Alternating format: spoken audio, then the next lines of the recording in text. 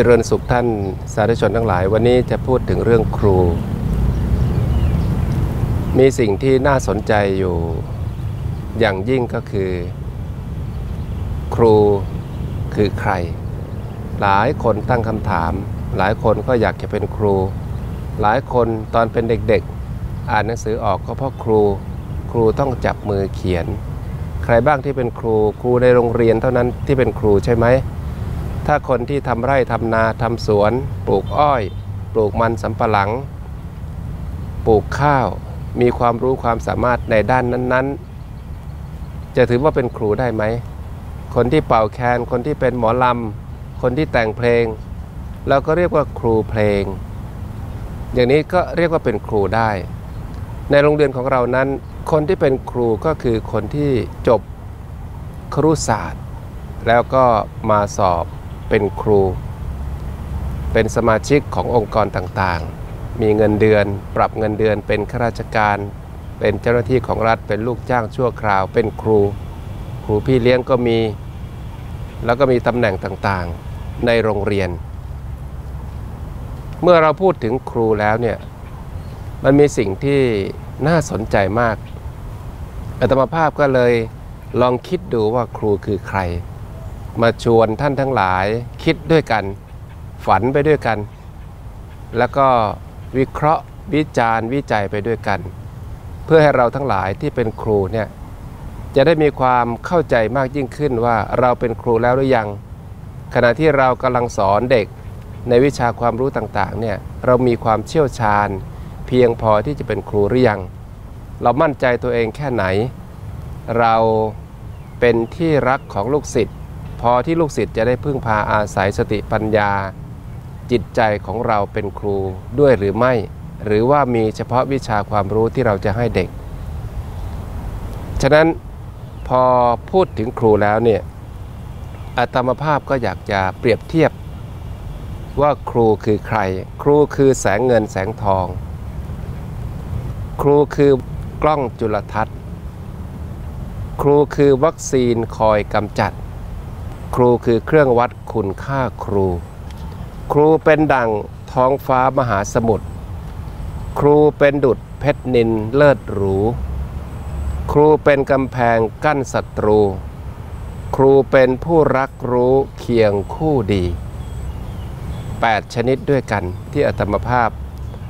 เรียบเรียงขึ้นมาเพื่อจะมาบรรยายให้ท่านทั้งหลายได้ฟังในวันนี้ ข้อแรกคือ ครู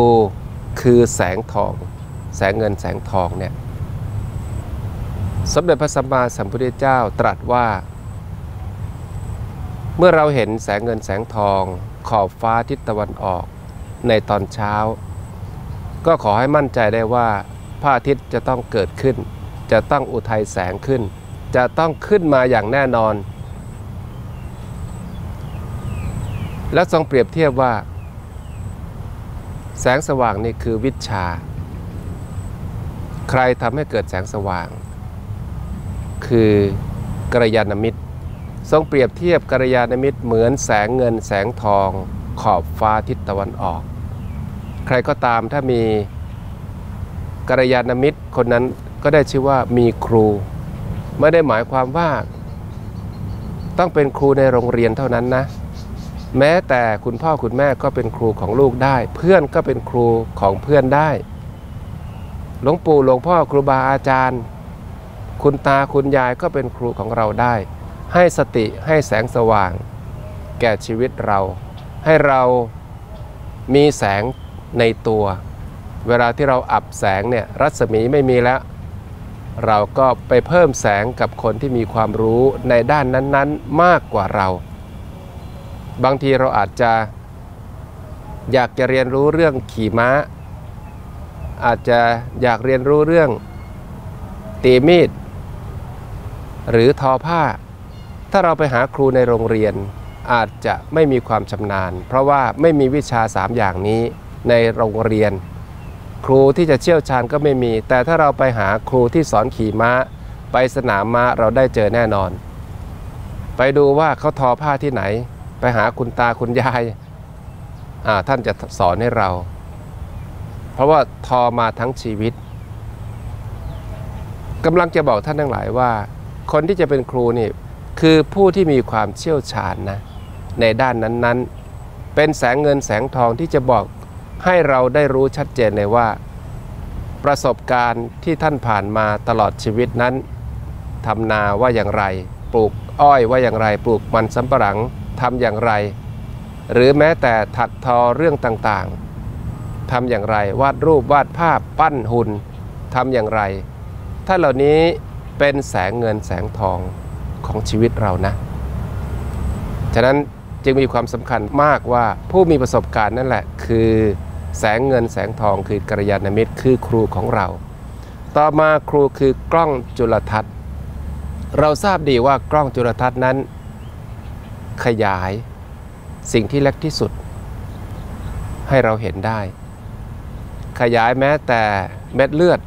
ขยายแม้แต่เซลล์ต่างๆออกมา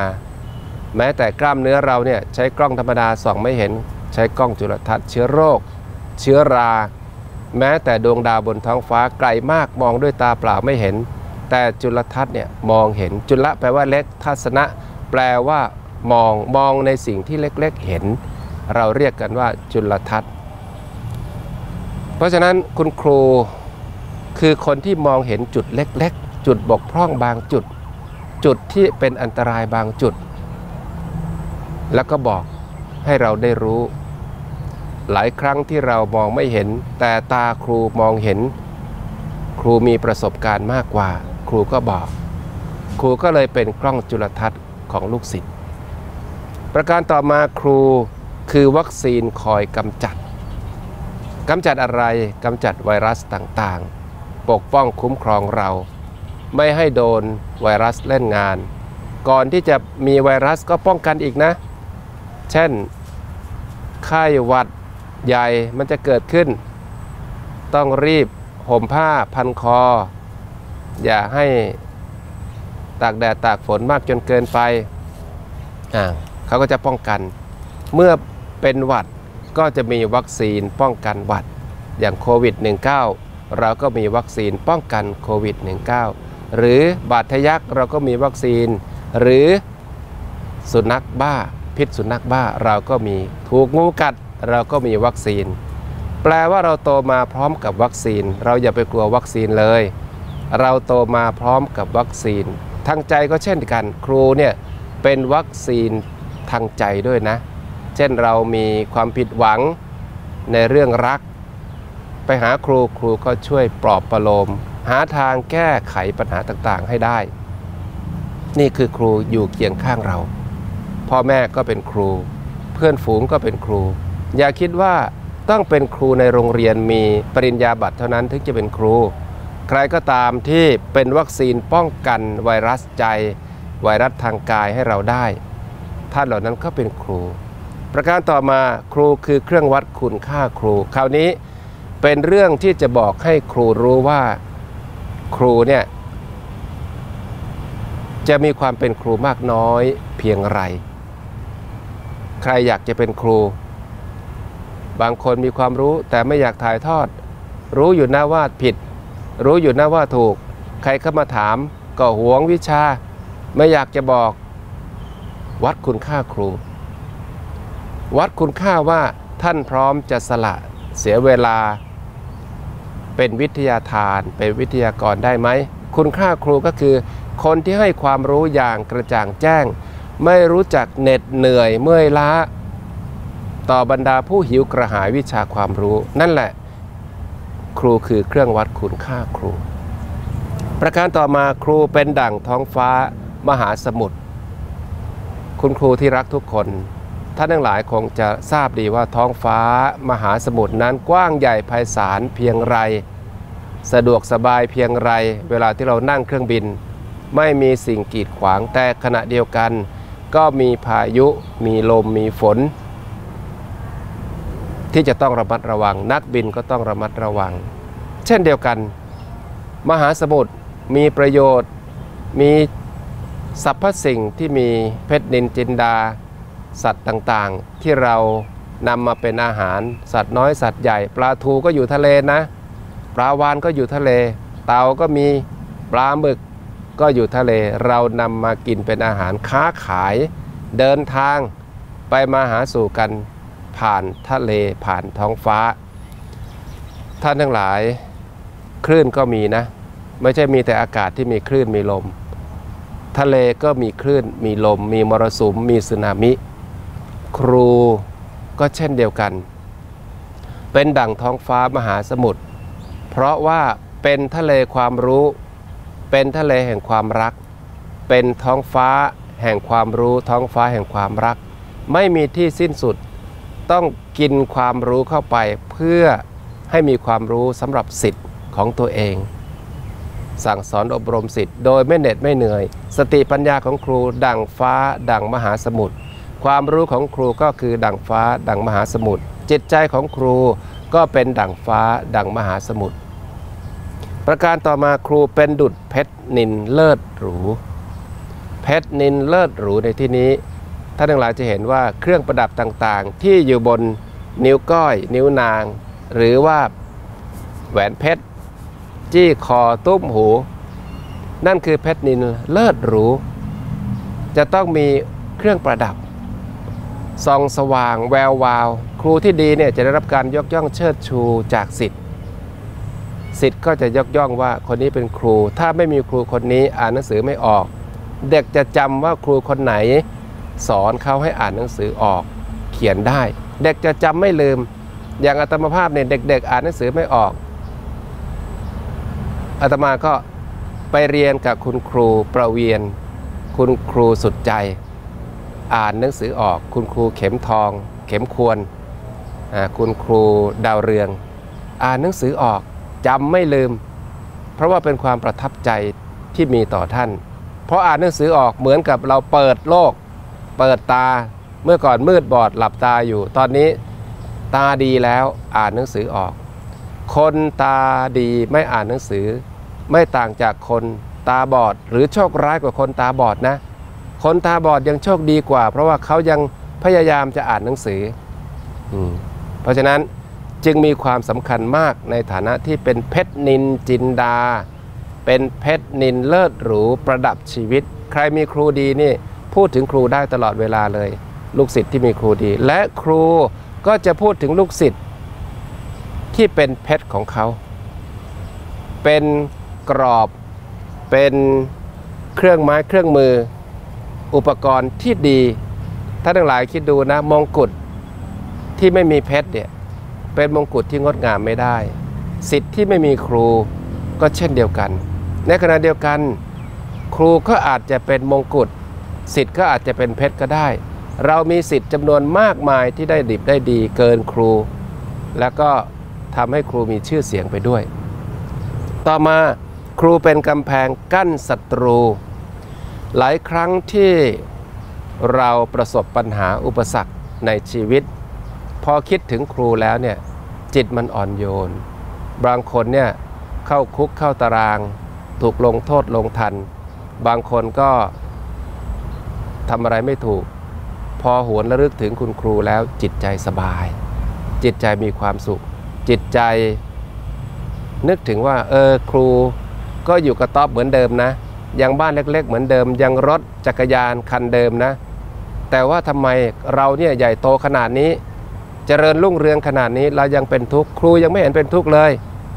มีหลายคนไปเยี่ยมคุณครู ถามว่าคุณครูอยากจะได้รถคันใหม่ไหมอยากจะได้บ้านหลังใหม่ไหมครูก็บอกว่าพอแล้ว นั่นแหละคือครูบางคนที่แสดงตนให้เห็นว่า ท่านเป็นครูสอนในหลาย ๆ เรื่อง ไม่ใช่แต่วิชาความรู้แต่สอนเรื่องการดำรงชีวิตด้วย ประการสุดท้าย ครูเป็นผู้รักรู้เคียงคู่ดี เป็นผู้รักในการเรียนรู้ และก็ประพฤติดี ปฏิบัติชอบ ครูจะไม่อิ่มในความรู้เหมือนทะเล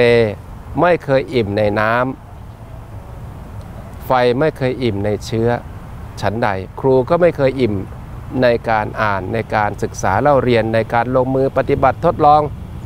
นักวิทยาศาสตร์ทั้งหมดที่เขาทดลองเรื่องนั้นเรื่องนี้ เขาเป็นครูที่ดีของโลกนะ คนที่คิดค้นค้นคว้าวัคซีน คนที่คิดค้นเรื่องยารักษาโรค แม้แต่เครื่องใช้ต่างๆ ที่มารักษาชีวิตของเรา แม้แต่เข็มฉีดยาหลอดไฟล้วนแล้วแต่เป็นครูที่น่าเคารพนับถือทั้งสิ้น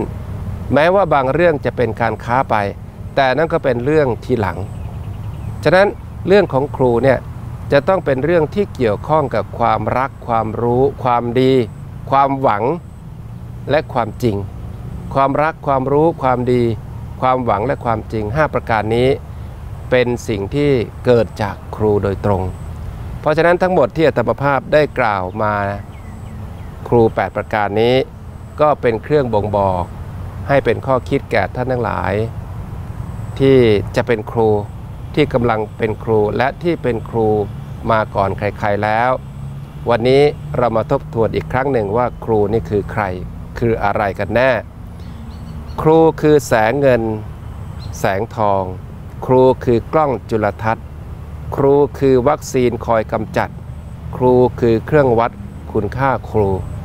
ครูเป็นดั่งทองฟ้ามหาสมุทร ครูเป็นดุจเพชรนินเลิศหรู ครูเป็นกำแพงกั้นศัตรู ครูเป็นผู้รักรู้เคียงคู่ดี ขอเจริญพร